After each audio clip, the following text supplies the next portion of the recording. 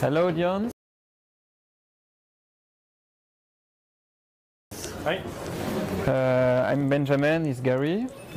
We are game developers. And some years ago, we developed a little game during our free time, um, which has been paused for uh, some years because we had our jobs and work. And we decided, like two months ago, to put it back on the scene uh, and to open source it. Um, so that's a, an opportunity for us to, to present it to you and, um, and specifically to speak about Mono Game, which is uh, um, the base of code we use for our game engine. Uh, so this is a little presentation of our game. It's a 2D arcade game. Maybe you can launch the video. Peut-être. That's illustrated. So it's uh, two versus two robots um, who plays a game like football. So basically, there's some arena with uh, like lasers or things like this, and you have about two or three minutes to beat your opponent. Um, it's a very simple arc- arcade games with uh, dual stick controls and gamepad, and it's meant to be played in multiplayer, even if there is an IA. And the best way to present it is maybe to have a little game, so you can see it in live. So we need people? Or Yeah, maybe it's four-player game, so if two if we can have sure. three players, three people to come. Jesse? I'll play if nobody else, but you guys should come play. I've already Anyway, played. just one minute. Yeah, come. T'as pas mis les SFX, euh, je crois. Pas de son.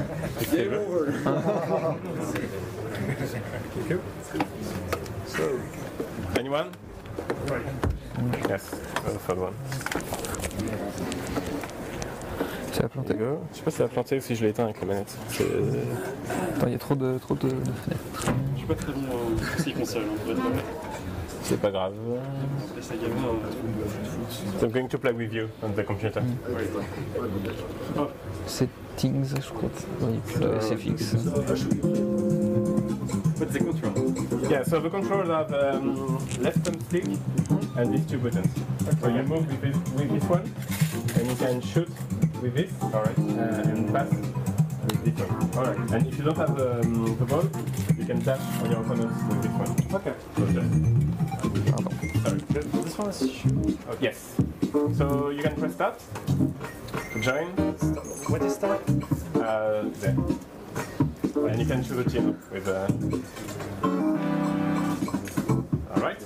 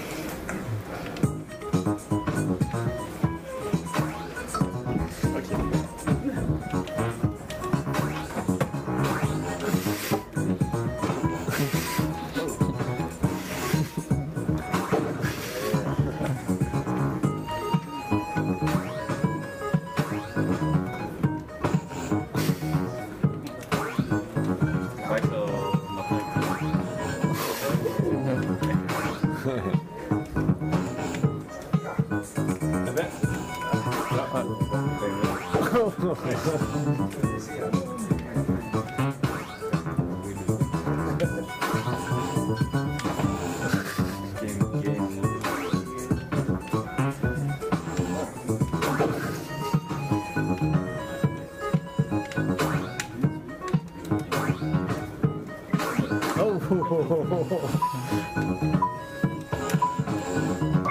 that's it.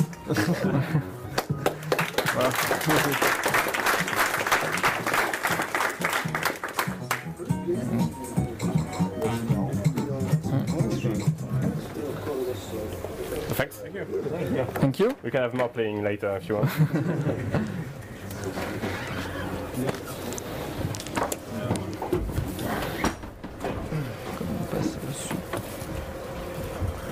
Okay, so the main idea is to um, speak a little bit on how we made this game. And the point is, everything we use, almost everything is, we use is open source, and we could develop the game entirely on a Linux platform and also on a Windows platform because I'm a Linux user, is more Windows user, and we could collaborate both in the development of the game. Um, we'll talk, Garis will talk a little bit later of the um, technical blocks we use for the engine. So Monogame and C Sharp and Mono, the free open source implementation. Um, for the assets, graphics, uh, you, you just saw, we mainly use Blender, even it, it's in 2D top view, we render it. Uh, we made it the arenas in 3D and render it in 2D on several layers to after change the colors and, and some settings too. And the other graphics like more um, uh, 2D sprite art were, were made in GIMP. We use also Audacity to edit some sound effects. And music was done with a Windows tool uh, sequencer which is Reaper because at, back in the time, like four years ago, uh, Ardour was not as good as today and was garden neither. So, but it worked really, really well with with Wine and. Uh, yes, it's pretty cool to not be stuck and just uh, stuck in wanted to use only open, your open source solutions when you can finally go further and use proprietary softwares when needed.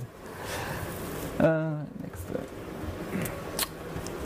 I will also speak about more than development of the game and how you can make an a game with open source tools and also publish a game if you want uh, an, open, an open source game. And uh, you can use the way you you will use it if you um, uh, if you do a traditional any game. Like you can publish your build on Steam if you want to go to the mainstream solution and keep it open source too on your own GitHub. Just maybe take care of the license if you use if you use code or art in Creative Commons for example just take care there is no restriction on commercial uses. Uh, you can also use like more indie like platform like uh, itch.io that actually the game is we just publish a game on it. Or maybe a Humble Bundle which has DRM free options. Or it's less common but uh, open source specific distribution like Frama Games for example have a, a store like web page with many open source games. Um, if you need to monetize your game even if it's open source you still can with a traditional donation uh, button or with a Kickstarter or Ulule or something like this if you need to raise funds to implement new features or even to just make the build pay like in the store and keep the source free if someone want to compile it uh, by himself. Uh, okay, so now we will speak um, of the reason on why we open source the game because it was not uh, at the beginning something we just thought about. It came after uh, some reflection we had because at the beginning Monogames was a free, um, an open source port of XNA, so the Microsoft um, frameworks and tools to to build game for Xbox and Xbox Live. So and um, it got open sourced and I was used to work with open source tool in Linux so it was finally quite logic that the game itself just come open source too. And um, we know the game is not quite finished and we could add many more features, but we do not have time and we have another project to work on. So we feel that the community could also, if they want and like it, to implement new things. Um, yeah, pedagogy, because um, we and especially Gary wrote um, a game engine built on Mono Games, and there is no, not so many 2D game engine uh, multi-platform uh, available. So could be cool to people to just dig in it in the source code if they want. And finally, because we wanted to have a voice to like manifest and promote the uh, okay. More transparency and more open-minded open mind um, way to develop to things about thing and just to yes tell people that sharing it's a benefit for everyone in society so that's why Yeah. Yeah. so I will um, give the microphone to Gary to speak about the game engine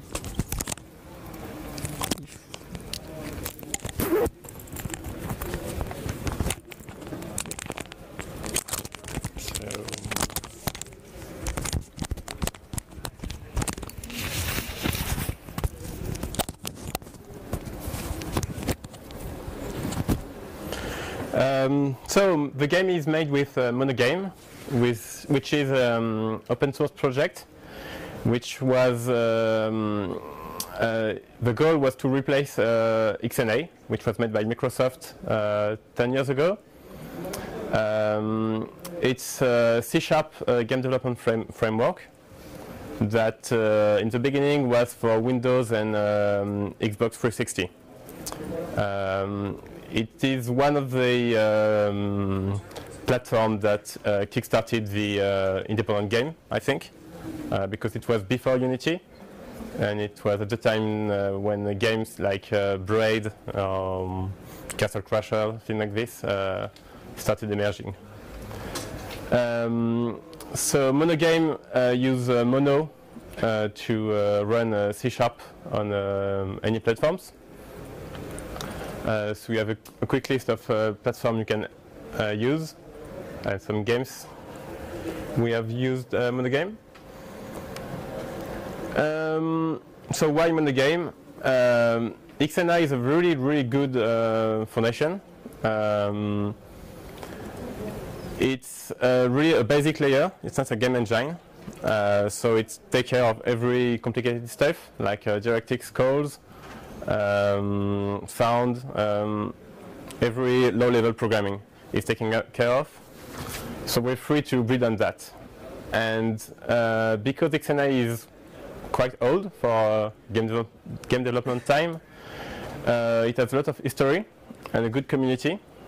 And um, many uh, libraries have been uh, created for adapted for XNA and Mono games. Uh, we, there is a few game engines, uh, libraries for anything you can think of, uh, physics, asset loading, sound, input. And because it's uh, C Sharp, uh, it shares um, many uh, projects with Unity. Um, and many assets that, that, that were built for Unity have been ported or, or in some way or another to uh, Monogame. And uh, why we, we use it? Um, well, first, it's not Unity. Um, uh, Unity is proprietary software, and um, it's, uh, as it was said, it's a closed box. So when something is not uh, working for you or not working at all, you can't do anything, and uh, it's a problem. And uh, there is a lot of um, uh, libraries for Unity, but because they have a asset store where you can pay for software, uh, it's not as easy to, to get what you need. And uh, also, for some historical reason, we started using uh, games back in the day I was a student, and Monogame was really easy to transition to open source uh, code. Um, so we wrote a custom game engine on top of Monogame, and because Monogame is uh, non-opinionated, which means uh, it doesn't make everything for you. It just provides functionality, but you don't have to do things in uh, in its way. So it's really easy to add some um, features on it, uh, and you don't have to write a full uh, engine. You just need to write what you need, like uh, creation and management of uh, game objects, uh, some uh, input or debugging, and that's it. You can call it an engine. And because there is lots of open source libraries, it was easy to mix and match and use source code from everywhere.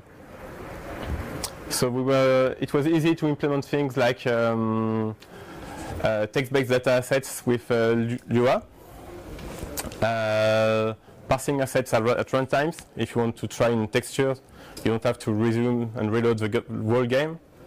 And we also have um, made a tool for remote data viewing and uh, editing uh, at runtime, which can be seen there. Is.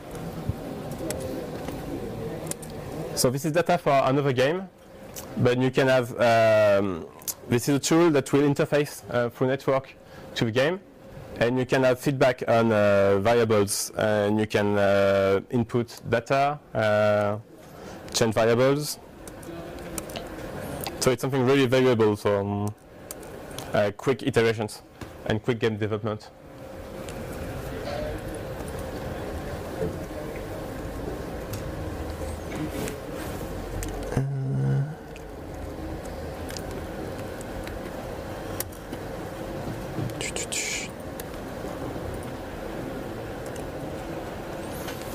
Yes, uh, it's some of the technology we use for the game. So Monogame can use both uh, DirectX or OpenGL for graphics, but uh, we targeted uh, only OpenGL. Uh, we use also OpenAL and uh, OGG Vorbis uh, for the, all the sound. Uh, Lua is used for uh, text assets, and uh, we have a very good uh, physics engine named Farseer, which was uh, made for XNA like about 10 years ago, and it's still uh, very good. And that's it. Um, Je vais finir. ouais, je finis. And so we are working. Yeah. It's there.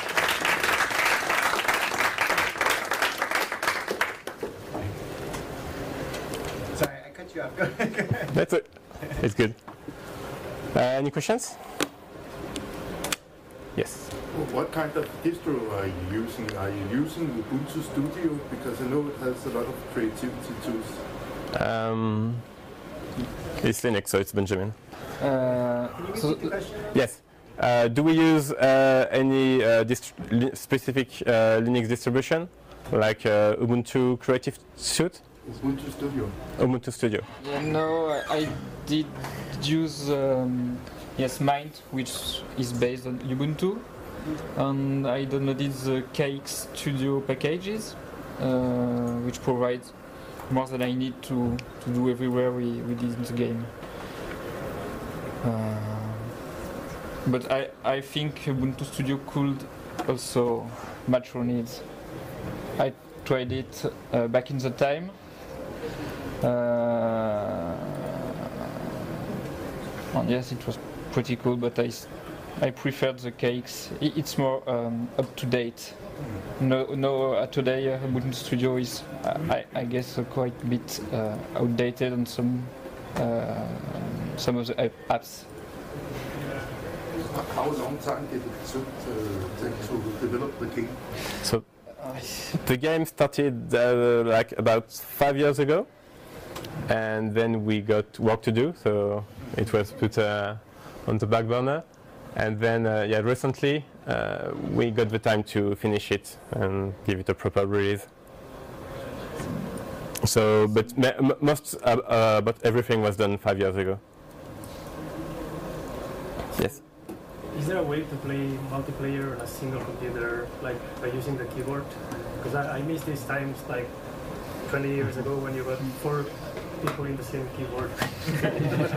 So the question is, uh, is there a way to play the game with uh, only the keyboard and the gamepad? And uh, no, we don't. Um, maybe we should, but the problem with keyboards is you have uh, limited uh, input. You can press 10 keys at the same time. Um, and we are we, we did the game in thinking about all the they call the couch games, couch games. You just sit on the couch, grab a pad, and, and play. Yes, question? Uh, since you started the a time ago, did you uh, change your mind on the technology? And if you had to restart the project right now, would you have used something different, or would you with the? Uh, the question is uh, because the game uh, was started a long time ago, uh, would we do anything differently, or uh, did anything change? No, I would do exactly the same thing. Monogame is um, is still very active, still implementing new platforms like the PS PS4 support was available during our pause. Um, the community is still there, and um, Monogame is still good. And Unity didn't change much uh, in the meantime. Uh, they have a new shiny renderer, uh, better uh, UI uh, functionality, but I would say that's about it. And um, so uh, I think it's the best way to do to have your hand on the code is still uh, Monogame is still a good solution. Uh, other than Unity and Molecule, do you think there is another contender, or just Um, is there any other good engine other than Unity and Monogame?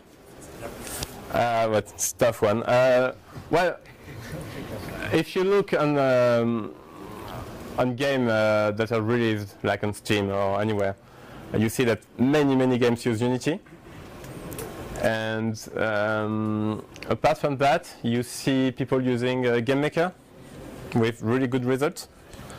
And good maker, game, game maker is interesting because uh, you don't have to, gig, to dig uh, too uh, deep into code. So if you're not um, a programmer by trade, you can use game maker with good results. And there is many other engines. Uh, I, I can't name them all. I know there will be a, a talk about Godot engine. Uh, there is Love, which is based on Lua, which has lots of good feedback. Uh, you, you have other options. Uh,